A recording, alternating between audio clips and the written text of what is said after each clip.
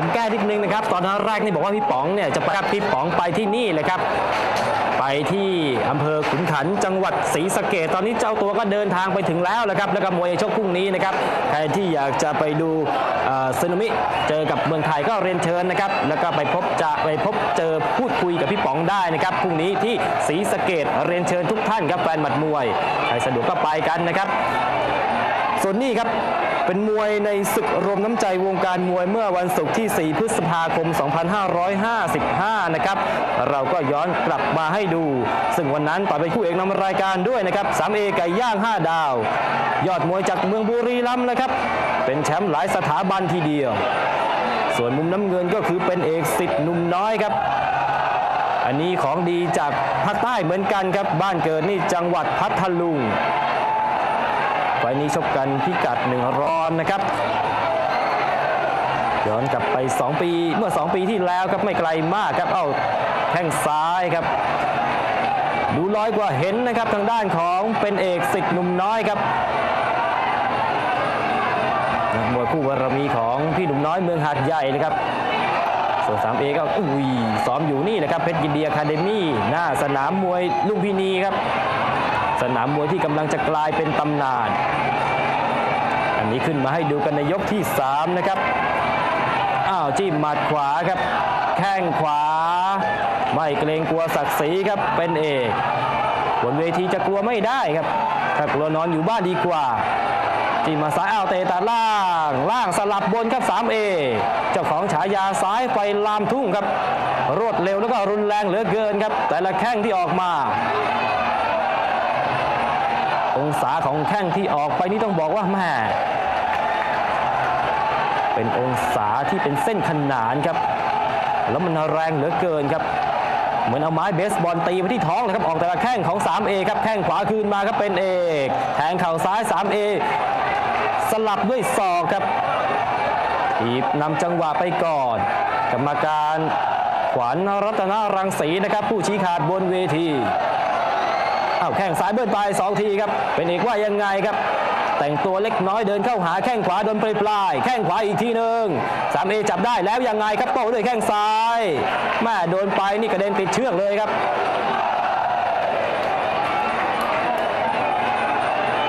ค่อยๆเดินเข้าหาครับ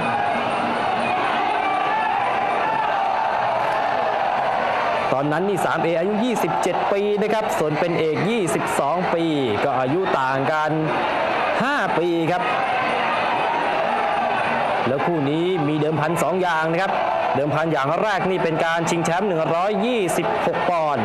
ของเวทีมวยลุมพินีและก็ประเทศไทยด้วยครับ แข้งซ้ายครับ 3A ส่วนเดิมพันที่ 2 ครับ ความสำคัญในวันนั้นนะครับ ถ้าใครชนะก็จะคว้ารางวัลนักมวยถ้วยพระราชทานของสมาคมผู้สื่อข่าวกีฬาทันทีครับอ่าว่ากันต่อยกที่ 4 นะครับปล่อยตัวยกนี้ขึ้นมาเนี่ยราคาอยู่ที่มุมแดงเป็นต่อ 7-1 นี่ไกลนะครับค่อนข้างจะเยอะครับสับศอกครับหวาเสียวเหมือนกันนะครับศอกของเป็นเอกสูงยาวเข่าแหลมคมครับแข้งขวาจิ้มหมัด มุมแดงนี่ขยับเวทขึ้นมาแล้วครับ ปกติต่อยอยู่ 122 ปอนด์ วันนี้ต่อย 125 ครับ ส่วนมุมน้ำเงินนี่ลดลงมาขอบพวกคุณสนามมวยเพชรบัญชา เกาะสมุยจังหวัดสุราษฎร์ธานีนะครับรวมไปถึงมวยหูของคุณเล็กสมสกุลด้วย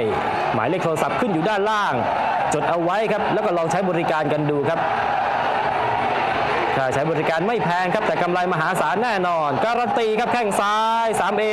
เป็นเอกโต้ด้วยเข่าขวา สับศอกครับ 3A เป็นเอกจู่โจมเข้าจับได้ไล่แขนเข่าคำได้เปรียบครับแทงเข่าขวามาวีโต้ด้วยซ้าย แทงเข่าขวาครับ เรื่องของหลักเหลี่ยมฝีมือนี่โอ้ย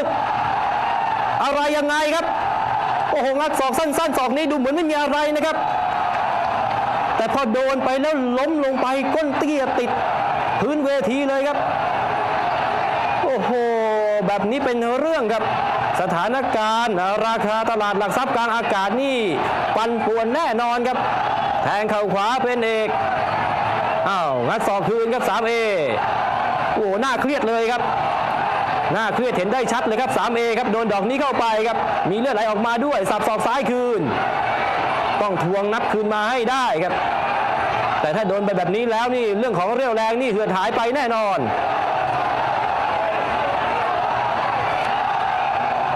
ก่อนหน้านี้มวยคู่นี้ก็เคยเจอกันมาแล้วนะครับ เมื่อ 4 ปีก่อนครับ เจอกันสมัยนั้นนี่ต่อยพิกัด 119 ปอนด์ครับ ก็เป็น 3A เลยครับที่เคยชนะเอาไว้ส่วนวันนี้ครับพิกัด 125 ปอนด์ายพี่ๆแฟนหมัดมวย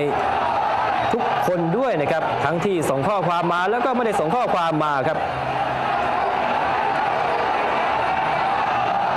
อ้าวสับศอกซ้ายครับ เป็นเอกเดินเข้าไป จิ้มหมัดซ้าย 3A จิ้มหมัดคืนมาครับ อ้าว แล้วก็ล้มลงไปครับ สถานการณ์ลำบากเลยครับแบบนี้ รางวัลนักมวยยอดเยี่ยมของสมาคมผู้สื่อข่าวกีฬานี่ก็หลุดลอยไปในพริบตาครับเอาจิ้มหมัดนำแข้งขวาครับ ก็คุมรูปมวยแล้วนะครับทางด้านของเป็นเอกโอ้โห ขึ้นเชื่อครับ สะใจเลยครับเจ้าตัว ส่วนทีมงานเพชรยินดีก็แก้เกมกันใหญ่เลยครับแม่ก่อนขึ้นมานี่ภาษีดีกว่านะครับ 3A แต่ไปโดนจังหวะงัดศอกสั้นของเป็นเอกนี่ก็เป็นเรื่องเหมือนกันนะครับ อย่างว่านะครับเรื่องของหมัดหมัดมวยมวยนี่ไม่มีอะไรแน่นอนครับ เช่นเดียวกับชีวิตคนครับไม่มีอะไรแน่นอนครับ ใช้ชีวิตอย่าประมาทครับ มีสติอ้าวแข้งขวาครับทีบโต้ด้วยแข้งซ้าย ไม่ปะทะด้วยแล้วนะครับสามทางด้านของเป็นเอกครับ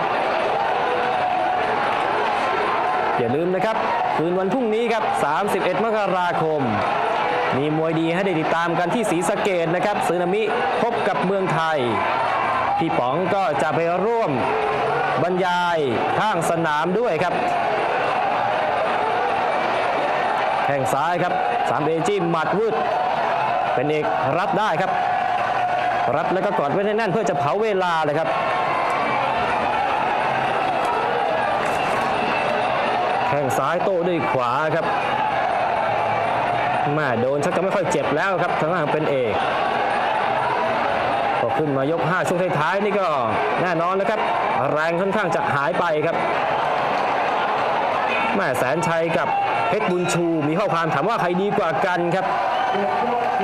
ก็จะเจอกันในวันที่ 7 กุมภาพันธ์นะครับ ผมเองก็บอกไม่ถูกเหมือนกันครับว่าใครดีกว่ากัน ดีทั้งคู่เลยครับแต่ว่าดีคนละแบบ อยู่ที่ว่าวันนั้นเป็นคนของใครมากกว่าครับ